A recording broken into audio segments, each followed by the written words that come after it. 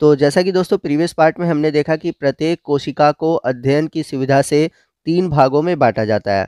पहला है कोशिका झिल्ली, दूसरा है कोशिका द्रव्य और तीसरा है केंद्रक। तो प्रीवियस पार्ट में हमने कोशिका झिल्ली और कोशिका द्रव्य के बारे में डिटेल से पढ़ा था। आज के इस वीडियो में हम बात करेंगे कोशिका द्रव्य के अंदर पाए जाने वाले उसके मुख्य घटक यानी कि कोशिकांग के बारे में। तो आइए समझते हैं कि कोशिकांग यानी कि सेल ऑर्गेनल्स होते क्या है। तो कोशिका के अंदर जीव द्रव्य में पाए जाने वाले सभी घटकों को हम सेल ऑर्गेनल्स कहते हैं। ये सेल ऑर्गेनल्स झिल्ली बाध्य होते हैं, यानी कि कोशिका झिल्ली द्वारा घिरे होते हैं। तो जितने भी सेल ऑर्गेनल्स होते हैं, उनकी संरचना और कार्य एक दूसरे से भिन्न होते हैं। तो कुछ जो सेल ऑर्गेनल्स होते हैं, वो सेल के कामकाज को कुशलतापूर्वक संपन्न करने तथा कुछ ऐसे ऑर्गेनल्स होते हैं जो कि कोशिका का नियंत्रण करते हैं और प्रजनन में भाग लेते हैं। तो आइए देखते हैं कि कौन कौन से सेल ऑर्गेनल्स होते हैं और इनके कार्य क्या है। तो आइए सबसे पहले हम बात करते हैं अंत प्रद्रवी जालिका, जिसे इंग्लिश में हम बोलते हैं इंडोप्लाज्मिक रेटिकुलम। तो इंडोप्लाज्मिक रेटिकुलम को हम शार्ट में ई e भी कहते हैं।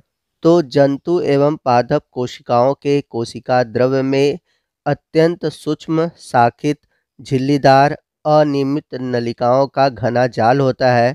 इस जालिका को हम अंत प्रद्रवी जालिका या फिर इंडोप्लाज्मिक रेटिकुलम कहते हैं। तो जैसा कि फिगर में आप यहाँ देख रहे हैं, यहाँ पर नलिकाओं का एक अनियमित जाल आपको दिख रहा होगा, यही है इंडोप्लाज्मिक रेटिकुलम। तो यहाँ पर आप केंद्रक के चारों ओर अंत प्रद्रवी जालिका को देख सकते हैं। तो ये जालनुमा फैला हुआ है। तो यहाँ पर आपको लिखा हुआ देख सकते हैं, लिखा हुआ है चिकनी अंत प्रद्रवी जालिका, ठीक है? और यहाँ पर लिखा हुआ है खुरदुरी अंत प्रद्रवी जालिका, यानी कि ये जो अंत प्रद्रवी जालिका होती है दो प्रकार की होती है। तो ये लाइपोप्रोटीन की बनी होती हैं और कोशिकाओं में समानांतर नालिकाओं के रूप में फैली होती हैं। तो यहाँ पर आप देख सकते हैं कि ये समानांतर नलिकाओं के रूप में फैली होती हैं और ये किसकी बनी होती हैं? ये लाइपोप्रोटीन की बनी होती है, यानी कि लिपिड और प्रोटीन से जब बनता है कोई चीज़ तो उसे हम बोलते हैं लाइपोप्रोटीन तो ये जो अंत प्रद्रवी जालिका होती है दो प्रकार की होती हैं। पहला है चिकनी अंत प्रद्रवी जालिका और दूसरा है खुरदुरी अंत प्रद्रवी जालिका। तो चिकनी अंत प्रद्रवी जालिका को हम बोलते हैं स्मूथ इंडोप्लाज्मिक रेटिकुलम शार्ट में बोलते हैं एस e और खुरदुरी अंत प्रद्रवी जालिका को हम बोलते हैं रफ इंडोप्लाज्मिक रेटिकुलम शॉर्ट में बोलते हैं आर ई आर तो ये जो चिकनी अंत प्रद्रवी जालिका होती है, ठीक है? तो इनकी जो सतह होती है वो चिकनी होती है, इसलिए इनको बोलते हैं चिकनी अंत प्रद्रवी जालिका। जबकि जो खुरदरी अंत प्रद्रवी जालिका होती है, उसकी सतह पर छोटे छोटे कण पाए जाते हैं और वो कण किसके होते हैं? राइबोसोम के होते हैं और इसी के कारण जो इसकी सतह होती है वो खुरदुरी हो जाती है। इसलिए इसको हम बोलते हैं खुरदुरी अंत प्रद्रवी जालिका। तो याद रखिएगा कि खुदूरी अंत प्रद्रवी जालिका की सतह पर क्या पाया जाता है? राइबोसोम पाया जाता है, जिसके कारण इनकी जो सतह होती है वो खुरदुरी होती है। जबकि चिकनी अंत प्रद्रवी जालिका की सतह पर राइबोसोम नहीं पाया जाता, इसलिए इनकी जो सतह होती है वो चिकनी होती है। आइए बात करते हैं हम अंत प्रद्रवी जालिका के कार्यों की। तो अंत प्रद्रवी जालिका झिल्ली नुमा नलिकाओं में तरल द्रव्य भरा होता है। इसलिए ये कोशिका द्रव में पदार्थों, मुक्त प्रोटीन का संचार करती हैं, अर्थात अंत कोशिकी परिवहन तंत्र का निर्माण करती हैं। तो इस प्रकार यह अंत कोशिकी परिवहन तंत्र का निर्माण करती हैं। तो जो एस ई आर होता है, यानी कि स्मूथ इंडोप्लाज्मिक रेटिकुलम होता है, वह वसा एवं कोलेस्ट्रॉल का संश्लेषण में भाग लेता है। कुछ वसा प्रोटीन के साथ मिलकर कोशिका झिल्ली बनाने में सहायता करते हैं। जैसा कि मैंने प्रीवियस वीडियो में आपको बताया था कि जो कोशिका झिल्ली होती है, वह लिपिड और प्रोटीन की बनी होती है। तो इस लिपिड और प्रोटीन के संश्लेषण का काम कौन करती हैं? एस ई आर करती हैं। तो इस प्रकार झिल्ली निर्माण की इस प्रक्रिया को हम झिल्ली जीवात्म जनन यानी कि मेम्ब्रेन बायोजिनेसिस कहते हैं। इसके अलावा जो कोशिका द्रव है, उसको यह यांत्रिक सहारा प्रदान करती हैं, यानी कि ये साइटोप्लाज्म को मैकेनिकल सपोर्ट देती हैं।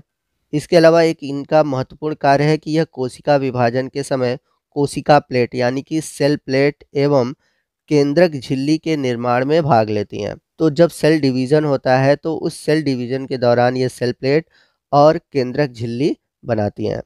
अगला कार्य है केंद्रक से कोशिका द्रव में अनुवांशिक पदार्थों को ले जाने के लिए पथ प्रदान करती हैं। तो केंद्रक के अंदर जो अनुवांशिक पदार्थ है, अनुवांशिक पदार्थ कहने का मतलब केंद्र के अंदर पाया जाता है डीएनए। तो ये जो डीएनए है, उस डीएनए को कोशिका द्रव में जाने के लिए एक तरह से यह पथ यानी कि मार्ग प्रदान करती है। तो अनुवांशिक पदार्थ डीएनए होता है, आप इसको याद रखिएगा, ठीक है? चलते हैं अगले कार्य की ओर। तो अगला कार्य है, इसके कारण ही कोशिका की सतह क्षेत्र यानी कि जो सरफेस एरिया है, वो बढ़ जाती है। और लास्ट और जो इम्पोर्टेंट कार्य है, वो है आर ई आर प्रोटीन संश्लेषण में मदद करता है। तो जो आर ई आर यानी कि रफ इंडोप्लाज्मिक रेटिकुलम है, मैंने बताया था कि उसकी सतह पर राइबोसोम पाए जाते हैं और राइबोसोम प्रोटीन का निर्माण करते हैं।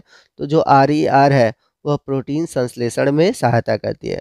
तो यहाँ पर राइबोसोम की बात आई है तो आइए नेक्स्ट हम बात करते हैं राइबोसोम के बारे में। तो बड़ा इंपॉर्टेंट टॉपिक है राइबोसोम तो यदि हम बात करें राइबोसोम की तो राइबोसोम ऐसे कण हैं जो केवल इलेक्ट्रॉन सूक्ष्मदर्शी से ही हमें दिखाई देते हैं। तो राइबोसोम जो होते हैं, बहुत छोटे कण होते हैं। इन्हें हम सामान्य सूक्ष्मदर्शी से नहीं देख सकते, इन्हें हम केवल इलेक्ट्रॉन सूक्ष्मदर्शी से ही देख सकते हैं। ये अंत प्रद्रवी जालिका की झिल्ली की सतह पर सटे होते हैं, या फिर एकल या गुच्छों में कोशिका द्रव में बिखरे होते हैं। तो ये दो जगहों पर पाए जाते हैं, या तो इंडोप्लाज्मिक रेटिकुलम पर हों या फिर कोशिका द्रव में बिखरे हों। तो ऐसे राइबोसोम जो गुच्छों में मिलते हैं, उन्हें हम बोलते हैं पॉली राइबोसोम बड़ा इंपॉर्टेंट है। जब ये गुच्छों में होते हैं राइबोसोम तो उसे हम बोलते हैं पॉली राइबोसोम या फिर पॉलीसोम। तो ये जो पॉलीसोम होते हैं, ये रचनाएँ प्रोटीन और आरण्य संश्लेषण में भाग लेते हैं। यदि बात करें हम राइबोसोम के कार्य की तो इसका सबसे मोस्ट इंपॉर्टेंट कार्य है प्रोटीन का निर्माण करना। तो आपके एग्ज़ाम में ऑब्जेक्टिव क्वेश्चन में पूछा जाता है कि कोशिका में प्रोटीन का निर्माण कौन करता है? तो याद रखिएगा, प्रोटीन का निर्माण करता है राइबोसोम। आइए चलते हैं नेक्स्ट कोशिकांग की ओर, जो कि है गालजी उपकरण या फिर गालजी काय। तो सर्वप्रथम अट्ठारह में जंतु कोशिका में गालजी काय की खोज की गई थी और इसको खोजने वाले वैज्ञानिक थे कैमिलो गॉल्जी। तो सर्वप्रथम कैमिलो गॉल्जी ने अठारह में जंतु कोशिका में गालजी उपकरण की खोज की थी। तो साधारण सूक्ष्मदर्शी में देखने पर यह मुड़ी हुई छड़ के गुच्छों के समान प्रतीत होती है। पादप कोशिका में ये कोशिका द्रव में मुड़ी हुई छड़ के समान रचना बनाकर बिखरे रहते हैं और पादप कोशिका में इस मुड़ी हुई संरचना को हम बोलते हैं डिक्टियोसोम। तो फिगर में आप देख सकते हैं, ये जो गालजी उपकरण है, ये मुड़ी हुई संरचना है और इसको हम बोलते हैं डिक्टियोसोम। तो इलेक्ट्रॉन सूक्ष्मदर्शी द्वारा इन्हें हम डिटेल से देख सकते हैं।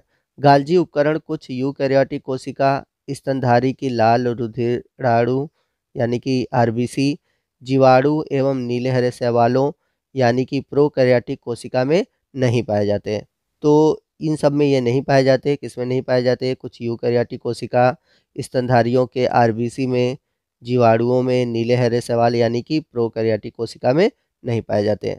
आइए नेक्स्ट हम बात करते हैं इनके कार्य की। तो यदि बात करें हम इनके कार्य की तो यह इंडोप्लाज्मिक रेटिकुलम से संश्लेषित पदार्थों का संचयन, रूपांतरण तथा पैक कर कोशिकाओं के बाहर और अंदर विभिन्न क्षेत्रों में भेजती हैं।